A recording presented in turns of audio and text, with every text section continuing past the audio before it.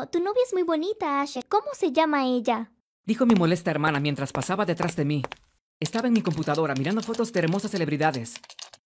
Ella no es mi novia. Sal de mi habitación, necia, dije. Nunca tendrás novia de todos modos. Eres muy feo. Respondió ella y luego salió de mi habitación. Ella era pequeña, pero supongo que tenía razón. No por la parte de feo, sino porque nunca tuve una novia. Aunque ya tenía 18 años, nunca había tenido novia. Sin embargo, esta fue mi elección. Encontraba a las chicas de mi edad demasiado inmaduras, necesitadas y aburridas. Siempre veía a mis amigos tener discusiones estúpidas con sus novias, y me atormentaba la idea de que tuviera que pasar por eso mismo. Se molestaban por todo. Si no le enviabas mensajes de texto, si no las llamabas durante el día para preguntarles cómo estaban, si no las ayudabas a llevar su bolso, si no les decías que eran bonitas al menos 10 veces al día, quiero decir, la lista es agotadora. Pero antes de continuar, no olvides darle me gusta y suscribirte. ¿Sabes de quiénes estaba enamorado? Mujeres mayores. La mayoría de mis maestras me parecían súper atractivas. Y cuanto más mayores mejor. Incluso me atraía la directora. Miraba a mujeres al azar en la calle y fantaseaba con ellas también. Incluso las amigas de mi madre. Claro, era demasiado joven para invitarlas a salir, así que terminé la escuela secundaria y tuve la vida amorosa más aburrida.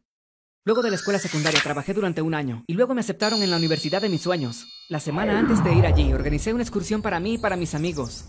Subimos la montaña más alta de nuestro estado y luego hicimos un picnic en la cima. Pensé que era más aventurero que tener una vieja fiesta de despedida. Para ser honesto, la estábamos pasando de maravilla, hasta que mi mejor amigo Greg me desafió a bajar la montaña, corriendo a toda velocidad. La montaña estaba resbalosa y cubierta de rocas afiladas, y en retrospectiva Greg probablemente lo decía en broma, pero yo no soy un cobarde. Así que corrí durante unos 20 minutos. Me detuve un rato para recuperar el aliento, y luego comencé de nuevo. De repente sentí como si estuviera volando. Entonces todo se puso de color negro. Me desperté en el hospital rodeado de gente preocupada. Asher, cariño. Gritó mi madre al ver que mis ojos se abrían. ¿Qué fue lo que pasó? Le pregunté a mi madre. No estoy segura, pero tus amigos te encontraron desmayado en los arbustos. ¿Cómo te sientes? Dijo ella. No lo había pensado hasta ese momento. Tenía un dolor extremo. No podía sentir la mitad inferior de mi cuerpo, y sentí como si mi brazo estuviera roto. Me siento fatal. ¿Qué me pasó? Pregunté. En ese momento entró un médico. Hola, Asher. Tienes ambas piernas rotas y no podrás usar uno de tus brazos por un buen tiempo. ¿Qué demonios estabas haciendo? Preguntó él. Yo, ah, Solo estaba corriendo. Realmente no sé qué fue lo que pasó, respondí. Parecía decepcionado. Mis padres se quedaron conmigo hasta que terminaron las horas de visita. Me quedé en ese hospital unas semanas y lo odiaba. La comida era terrible y echaba de menos mi habitación. Finalmente decidí persuadir a mis padres para que me llevaran a casa. ¿Pero quién va a cuidarte? Preguntó mi madre. Podríamos contratar a una enfermera. Ya tengo a alguien en mente, dijo mi padre. Bueno, si estás seguro de eso, entonces está bien, respondió mi madre. Ah, gracias, dije intentando levantarme de la cama, olvidando completamente que no podía moverme. La primera noche en casa tuve pensamientos horribles. No me malinterpreten, estaba feliz de estar en casa, pero mi lesión significaba que tenía que cambiar muchos de mis planes. Primero, no podría ir a la universidad ese año. ¿Estaría bien para aunque sea caminar el próximo año? No tenía idea. No podría ir a donde quisiera, practicar deportes o simplemente divertirme. Me quedaba dormido y tenía pesadillas sobre cómo sería mi vida en los próximos meses. Me despertaba con la brisa soplando mi cara y los pájaros cantando afuera. Me levantaba feliz por un segundo y luego tenía pensamientos deprimentes de nuevo por mi vida terrible. De repente abrieron la puerta de mi habitación. Asher, cariño, quiero presentarte a alguien muy especial. Esta es tu enfermera Denise. Ella va a cuidarte durante la semana mientras tu padre y yo nos vamos a trabajar, dijo mi madre. Y luego entró la mujer más hermosa que había visto en toda mi vida. Piensen en la mujer más hermosa que hubieran visto y multipliquen eso por cien. Así de hermosa era. La miré en shock y por un momento sentí que mi cara estaba rota también. Hola, Asher. Estoy muy feliz de conocerte. Dijo ella. Hola, dije. Era muy tímido para decir otra cosa. Pasó una semana y no había hablado mucho con ella. Ella se quedó conmigo durante el día y me cuidó bastante bien. Traía las comidas y a veces me contaba historias divertidas también. Yo respondía mucho porque estaba muy nervioso. Cuando ella se fue, tuve fantasías con ella toda la noche hasta que volvió al otro día. Deseaba que tuviéramos algo más, pero no sabía cómo decirle. Me dije a mí mismo que tenía que ser más amigable.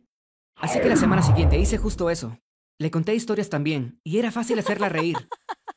Me dijo que era casada y que tenía tres hijos, y que se estaba divorciando. Pero eso no me importaba. Eso solo significaba que era más madura y que pronto sería completamente mía. Estaba bastante seguro que podría ser un buen padrastro. Cuando me sentí más cómodo con ella, le di algunos poemas y le dije lo hermosa que era todos los días. Ella se sonrojaba cada vez. Cuando estaba mejor para moverme a la sala, veíamos películas y comíamos palomitas de maíz. Oh, Asher, aparenta ser muchos años mayor. ¿Estás seguro de que solo tienes 18? Dijo un día riéndose. Sí los tengo, dije mirándola fijamente a los ojos. Por un minuto parecía como si ella estuviera perdida en mi mirada también. Y luego, en un segundo, nos estábamos besando. No podía creer que esto de verdad estaba pasando. Oh, por Dios, dije mientras nos alejamos. ¿También sentías algo por mí todo este tiempo? Le pregunté. Desde que te vi por primera vez. Respondió ella. Sé que la situación en tu casa es un poco complicada, pero ¿considerarías ser mi novia? Le pregunté. Pensé que nunca me lo pedirías. Respondió ella. Así que ahí está. Tenía una relación con una mujer mucho mayor que yo. Una enfermera sexy, la mujer más hermosa que había visto en toda mi vida. Mis piernas estaban rotas, pero me sentí el hombre más afortunado del universo. Luego comencé a ir a un fisioterapeuta y empecé a recuperarme de mis piernas. Eventualmente pude caminar con un bastón, pero Denise aún venía a mi casa para cuidarme mientras mis padres no estaban en casa. Una mañana luego del desayuno, mi madre dijo, Asher, ya estás mucho mejor. ¿Aún necesitas enfermera? Creo que es momento de dejarla ir. Ya puedes cuidarte tú solo. No, gritamos mi padre y yo al mismo tiempo. Mi madre miró muy confundida. Eso es solo un gasto extra que realmente no necesitamos ahora. Aún no hemos pagado la hipoteca de esta casa y también tenemos que pagar el carro. Y también están las facturas del hospital. Es demasiado. Hoy será su último día. Dijo ella. Yo suspiré. Mi padre se veía decepcionado, pero no sabía por qué. Decidí que tenía que planear algo, y rápido. Hmm, Denise está aquí porque tuve un accidente. ¿Cómo puedo hacer que se quede por un tiempo? Ajá, ya sé. Puedo lastimarme a mí mismo para que mi madre no tenga otra opción más que dejarla quedarse, pensé. Cuando vino Denise, mi madre le dio la noticia. Ella se veía muy triste. No te preocupes, susurré y le guiñé el ojo. Tuvimos una cita romántica luego de eso. Tomé una larga siesta y cuando desperté no sabía dónde estaba Denise. Era hora de ejecutar mi plan. Subí las escaleras hasta el último escalón y luego me tiré hacia abajo. Me desmayé y me desperté en el hospital de nuevo. Fue como un déjà vu. Solo me rompí un brazo y me golpeé la cabeza bastante fuerte, pero mi madre dejó que Denise se quedara dos semanas más. Estaba extasiado. Me fui a casa sintiéndome completo. Al día siguiente, Denise me trajo mi cheesecake favorito de arándanos. Nos sentamos y hablamos por horas. No podía dejar de mirar lo hermosa que era, y estaba feliz de poder pasar más tiempo con ella. Ella me miró fijamente y luego nos besamos. Escuché ruidos en el piso de abajo, pero lo ignoré por completo. Estaba muy perdido en su mirada. Luego escuchamos un golpe fuerte en la puerta cuando se abrió totalmente. ¿Pero qué demonios está pasando aquí? gritó mi padre. Te traje a mi casa para que cuidaras a mi hijo, y aquí estás besándote con él. Me das mucho asco. Él siguió hablando. Papá, no, por favor, fui yo, no la culpes a ella, le rogué. De repente mi padre comenzó a llorar. Papá, ¿por qué estás llorando? le pregunté. Caminó hacia Denise y puso sus manos en su cara. ¿Cómo pudiste hacerme esto, cariño? Pensé que lo que teníamos era muy especial, pero me estás engañando con mi propio hijo. ¿Cómo puedes hacerme eso? Dijo llorando. Lo siento mucho, cariño. Sabes que te amo, pero también tengo algo muy especial con Asher. Respondió ella. Quedé tan impactado que no podía hablar. Y aparentemente estábamos tan metidos en el momento que no escuchamos que mamá estaba subiendo las escaleras. Ella vino a mi habitación por curiosidad. ¿Qué es todo este escándalo? Preguntó ella. Tenía un vaso con agua en la mano y luego se le cayó mientras miraba en shock. Gregory, ¿por qué tienes tus manos puestas en la cara de la enfermera? Dijo ella. Cariño, lo siento mucho. He querido hablar contigo sobre esto. Lamento haberlo ocultado por tanto tiempo, pero he estado teniendo una aventura con Denise. Ella fue mi novia en la escuela secundaria y cuando vino a trabajar aquí, comenzamos a salir de nuevo, y la verdad fue mágico. Por eso la sugerí a ella en primer lugar. Ella va a divorciarse pronto y me mudaré con ella y con los niños, dijo él. Pero eso fue lo que me dijo a mí. Voy a mudarme con ella. Yo grité. ¿Qué? Preguntó mi madre confundida. Creo que fue demasiado para ella, así que se fue. Oigan chicos, lo siento mucho. Dijo la enfermera. La verdad es que no dejaría a mi esposo. Solo quería divertirme un poco, pero soy muy leal a mi esposo y a mi familia también.